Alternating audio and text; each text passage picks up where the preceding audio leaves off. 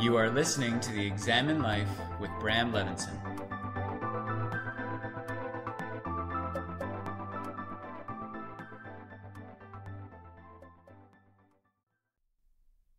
Welcome back to the podcast, everybody.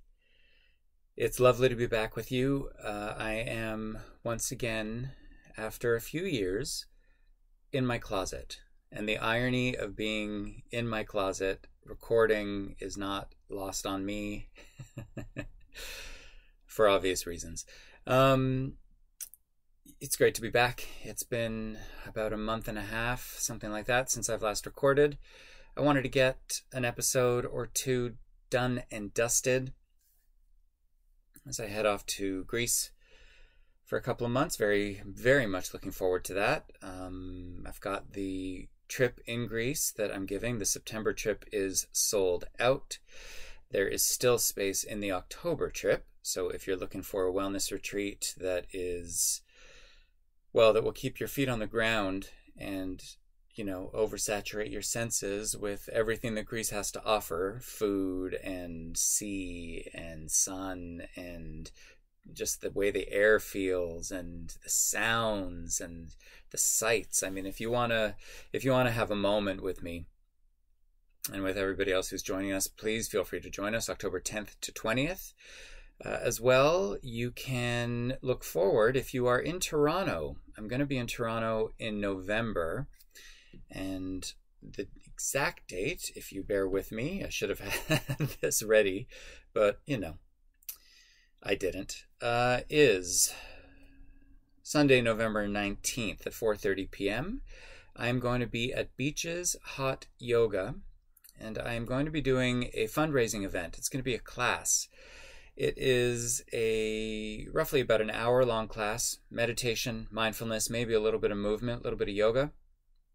But this is going to be a free event uh, with a request to open your pockets, open your wallets, and donate money to an incredible organization that is Toronto based that is called Feed It Forward. If you look up Feed It Forward on Google, you're going to find all the things that they do. I initially found out about Feed It Forward when I was in Toronto a couple of months ago, and I met with some students who have become friends. And they were telling me about this chef, this chef who apparently was training uh, unhoused population, unhoused people to cook and paying them. And with the food they were making, they were going around Toronto uh, feeding the unhoused population. So that immediately piqued my interest as a great cause to see if I can use my time and energy to funnel resources towards. I have since found out that Feed It Forward and Chef Jagger Gordon have multiple initiatives. I think there are 13 initiatives but just a couple of those include a pay what you can grocery store. So the people who work there are volunteers, and it's a way to make food more accessible. And he is also, Chef Jagger Gordon is also very uh, focused on eliminating food waste or reducing food waste as much as possible. And so there is a Feed It Forward app that you if you have food that's going to waste you can just sort of ping yourself on the app with your location and people will come get the food from you i just i'm i'm so in awe of what this guy does and what this organization does and i don't know it just felt intuitive for me to um, do whatever i could to help however i could i've been spending more time in toronto so this just felt very natural and luckily, I've met some incredible people who have helped me make this event happen. Again, it is at Beaches Hot Yoga on Queen Street East. This is going to be November, I forgot the date, Sunday, November 19th, 4:30 p.m. So, if you are in Toronto, please join us for the event. Um, bring your yoga mat. And if you cannot make it, please consider making a donation. You can either send it to me and you can contact me for that to happen, or just do it directly through the Feed It Forward website. So, I've got so much that I've been wanting to talk about over the past little while, but it's, you know, something really kind of major happened for me um, about a month, a month and a half ago. And I know that this is something that was on everybody's radar. But let me just backtrack by going back to when I was about gosh, I want to say about 15. When I was when I was young, I had listen, I had a rough childhood just in terms of being a gay kid in that time when the only examples I had of queerness or gayness around me or even in the media included characters who were ridiculed or characters who were beaten up and then you know went on to like talk shows to talk about their their otherness and their persecution. So growing up in my mind and in this body was not the easiest ever.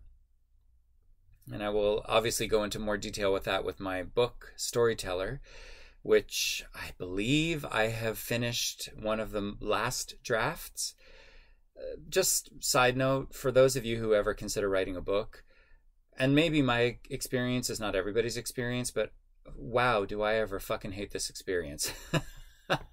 I I hate writing books. I love the initial sort of um, how can I call it the channeling, the channeling of ideas and getting things down. I love that. The rest of it, the editing, the restructuring, the going over and going over and going over. Wow, what a pain. There's nothing creative about it the only satisfying moment for me has been getting to the end of this draft, this last draft I've done, which basically I did because I was given direction by a really, really close friend of mine who is a writer.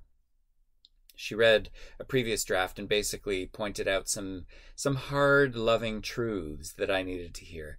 Um, and based on her feedback, I started over from the beginning of the book. Even though everything was there, I needed to take stuff out, I needed to restructure.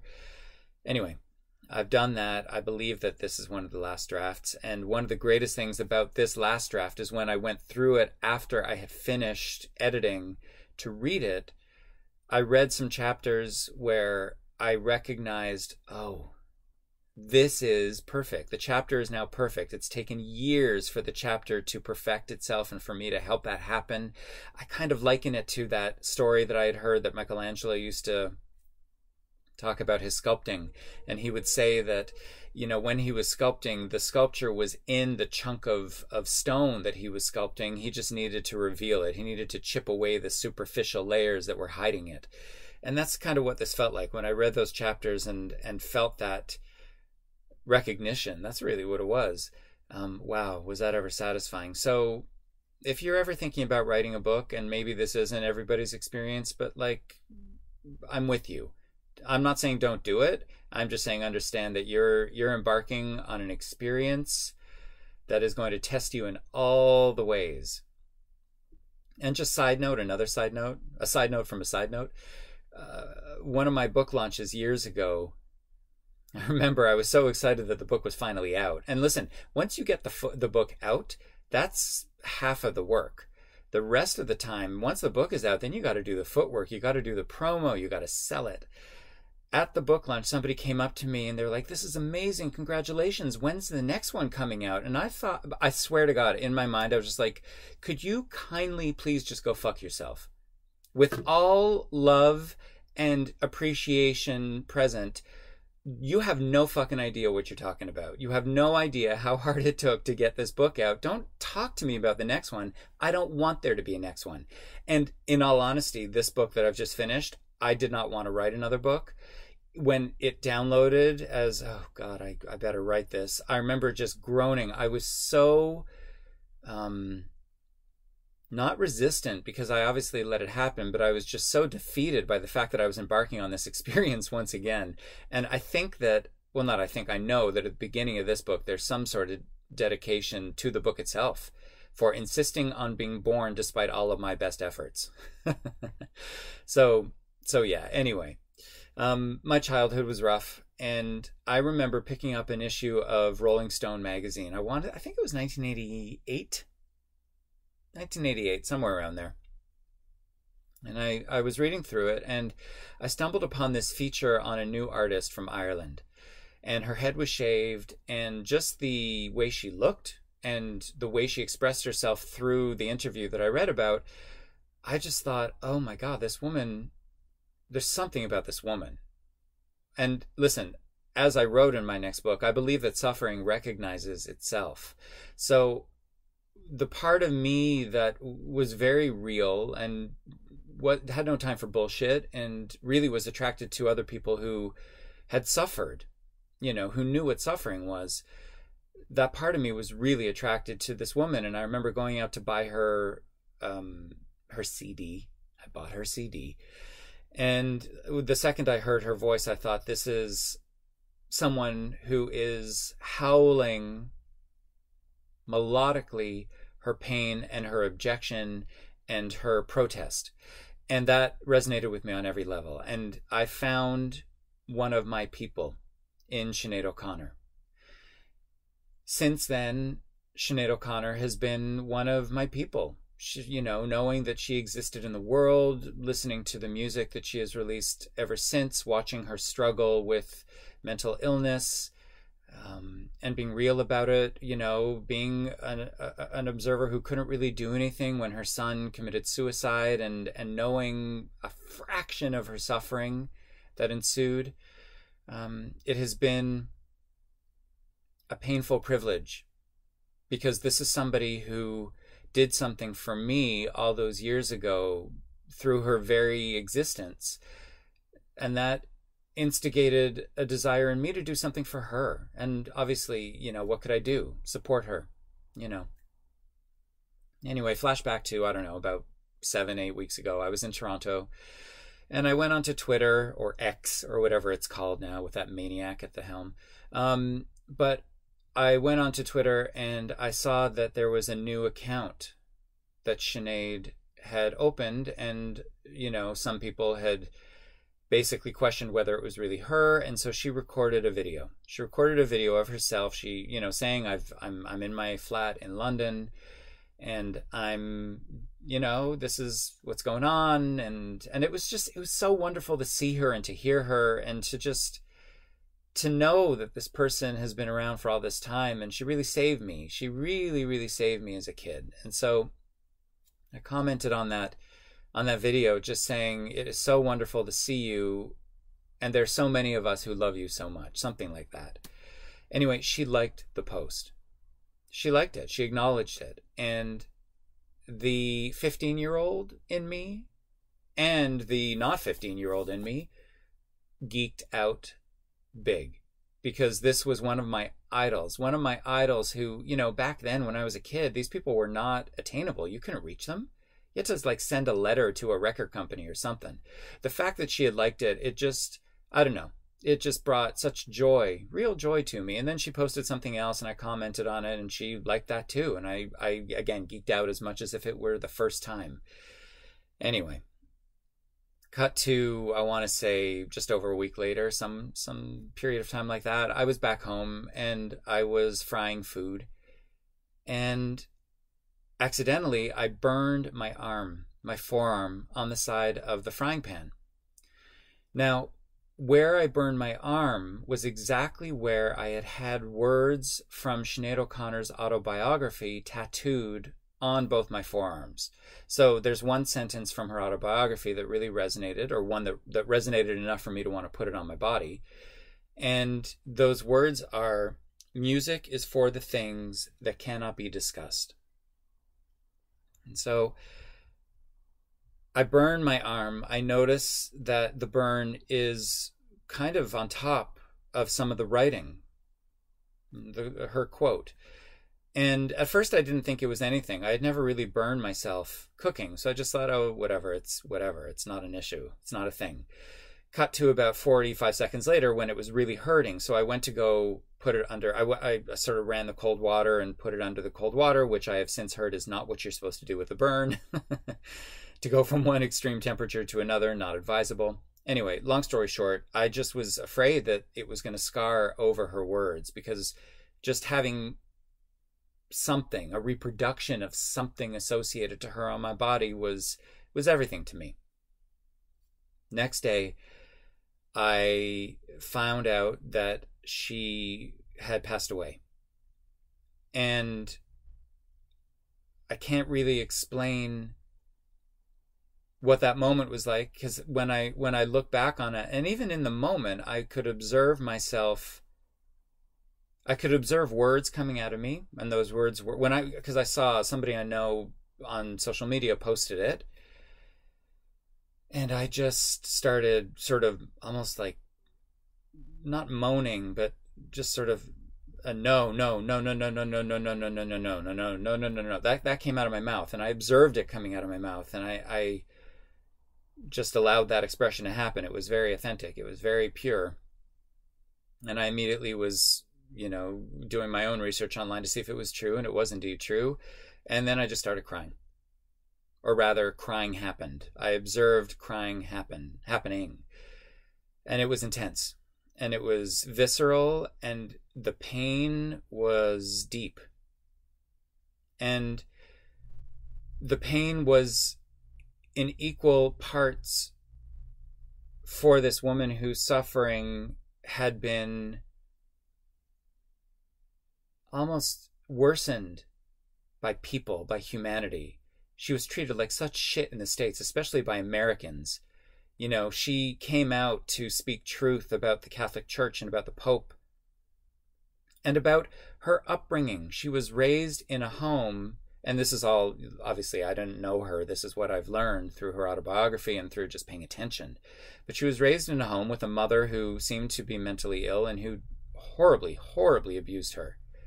And the picture of the Pope was up in her mother's room for her entire life. And when her mother passed away, she took that photo and she tore up that photo on international, or rather on American television, but it became an international event to protest her upbringing, to protest abuse, to protest what had been done to her, to protest the hypocrisy of the Catholic Church, to protest.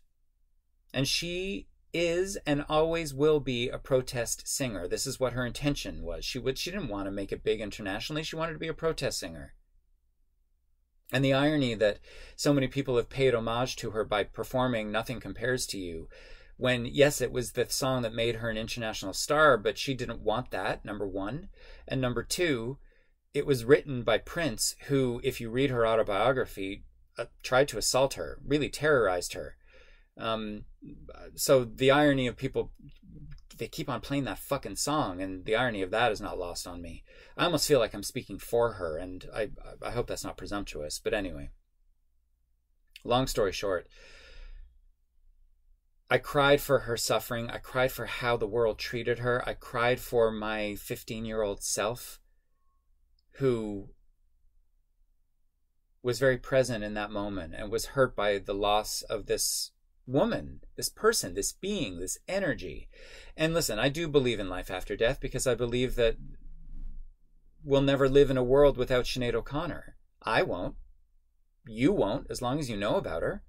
You will never live in a world without her. But nonetheless, it was it was hard. It was hard for me. Anyway, listen, I recovered after about an hour, uh, and then texted with a friend of mine, and we were sort of she checked in with me because I had posted something on social media about this. And I told her about the burn. And in that moment, I was starting to recognize the burn as something other than a literal burn. And my friend texted me immediately after I told her about the burn from the day before, and she said to me, Listen, if this was her way of, this was Sinead's way of saying something to you, of communicating something to you, what do you think she's communicating? And in that moment, without without even flinching, without blinking, I just replied that there is a degree of connection that we are so oblivious to, but that exists all around us and at all times. Came to me very clearly. In hindsight, I believe that and I and and I believe that Sinead passed away sometime around the time of the burn. I do believe that this was some sort of connection. I believe that even if it wasn't her communicating with me, it, there was some sort of connection. There was something there. And this epiphany, this understanding, this reminder that there is a level of connection that we are completely unaware of through this entire journey of life. I believe, I do believe, that we are aware of it before we are born into these bodies, and we are reminded of it as we approach the death of these bodies. I believe that we know about this connection. I kind of believe that on some level we are aware of it throughout these lives that we lead in these bodies. But what I also know is that navigating the world in a human body is navigating an entire existence of division and suffering and obstacles and jump through this hoop and struggling to keep your head above water. I understand that the world is not set up for us to thrive. The world is set up for us to contribute to an economic system. We are trained to learn so that we can learn something well enough that we can make money at it so we can pay our taxes and buy shit and keep paying for all the shit that we accumulate. I get that. And by the way, I'm not demonizing money. I think money's fantastic as long as you recognize what it is and how to use it responsibly. But with that said, we're not trained to take care of each other. We, as I've said this a million times, you've heard me say this a million times. We are not trained to take care of each other. We're trained to do everything else. We're not trained to take care of ourselves. We are not trained to recognize that the experience of life is about suffering. We are not trained as to how to contextualize that suffering and what to do with it and how to transcend it. And listen, because we're not taught that, I have a career and I have a mission in my life because I the word career is reductive as far as I'm concerned. This isn't my job. This is how I choose to spend my life, reducing suffering, helping people contextualize their suffering. You know, because listen, suffering recognizes itself. And I found Sinead, and then maybe through this burn, Sinead reminded me that she was there all along. Who knows? But I do believe that there is this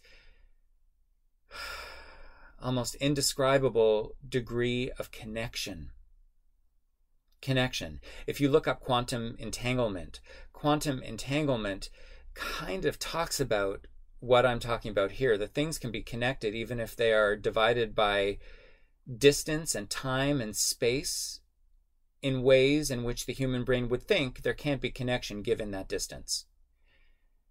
I believe there is connection.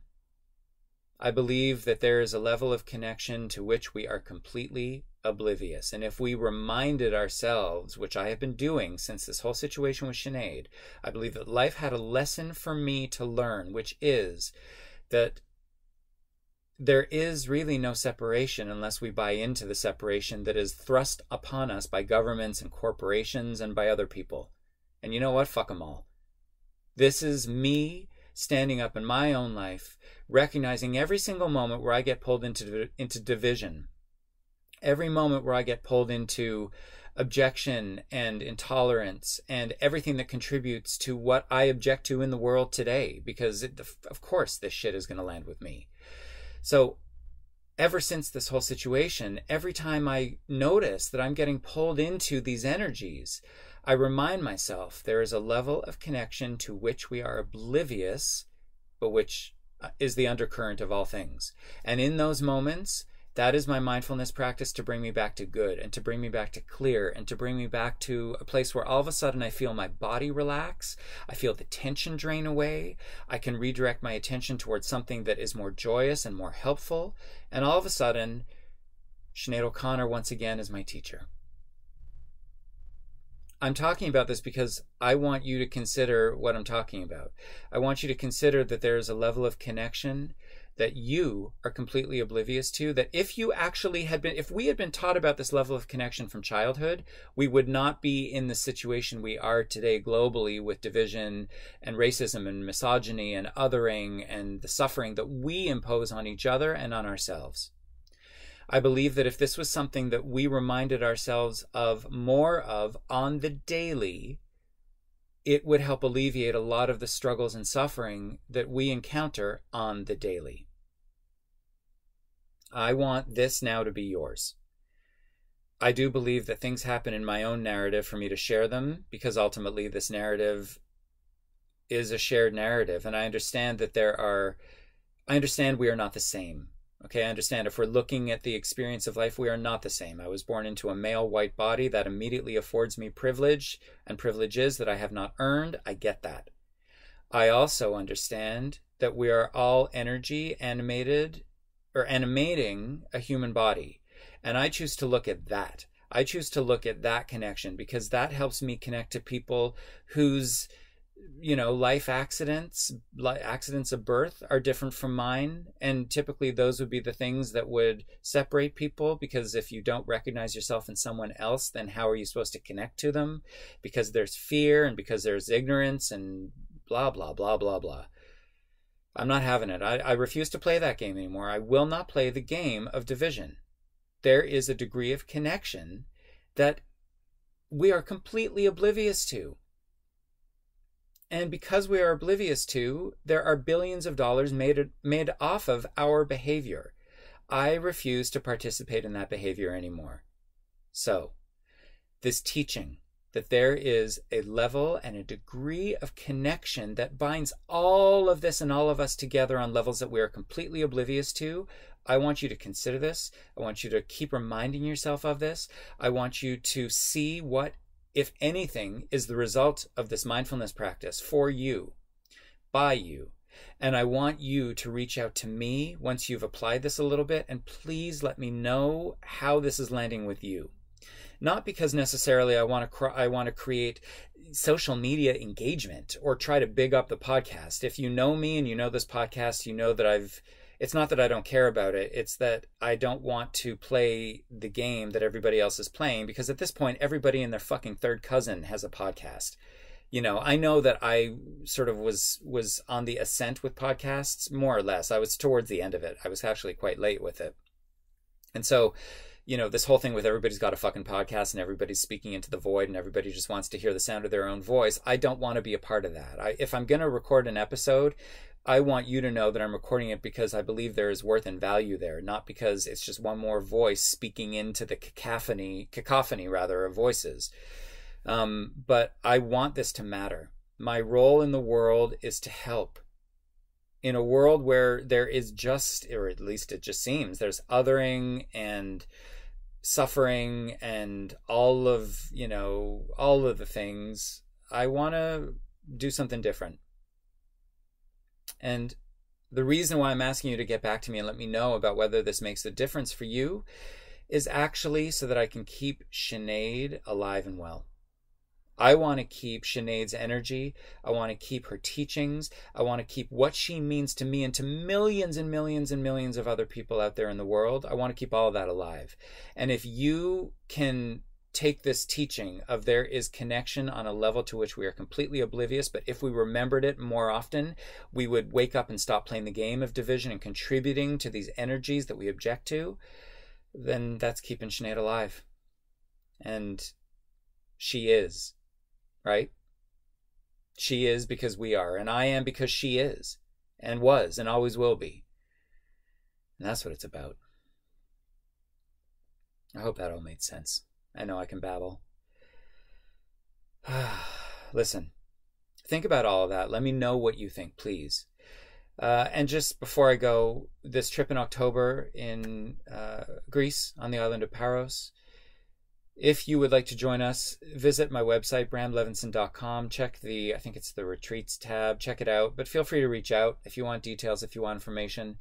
Um, it's the first time I'm doing a second group just because there was demand and um, the group is small right now. And to be honest, I don't. I'm not attached to it being a big group. Uh, I believe that people show up to the events that they need to be at, and I don't really look at attendance. I look at the souls, the energies that have shown up, and understand there's going to be an amazing uh, experience of connection and inspiration, whoever shows up. And so, if you're interested, listen, check out my website, or reach out, or do both.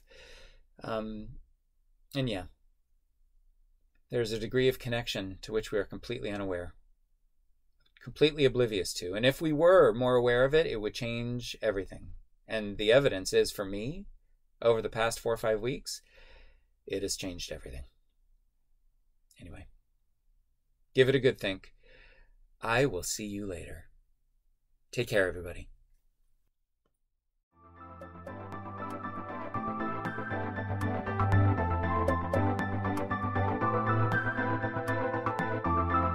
This has been the Examined Life with Bram Levinson.